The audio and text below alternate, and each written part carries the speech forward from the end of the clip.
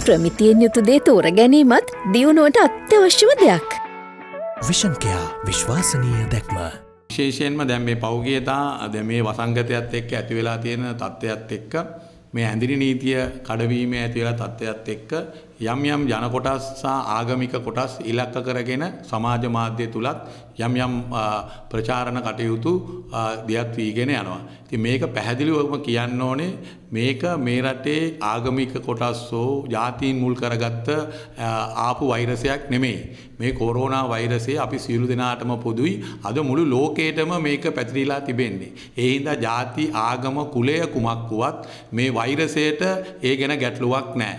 ඒ හින්දා අපි මේ වෙලාවෙත් ಜಾති ආගම් මුල් කරගෙන ඒ ඒ ජන කොටස් ඉලක්ක කරගෙන මේ ප්‍රචාරයන් නවත්තලා අපි සියලු දෙනාම ශ්‍රී ලාංකිකයන් හැටියට මේක පරාජය කිරීම සඳහා අපි එකතු වී යුතුයි.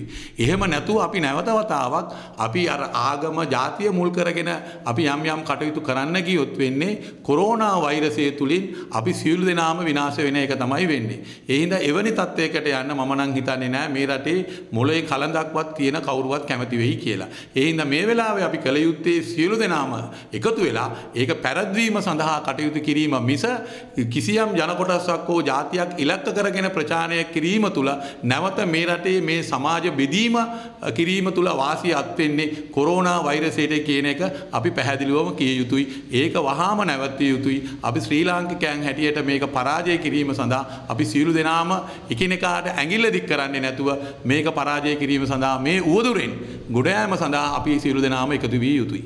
.lk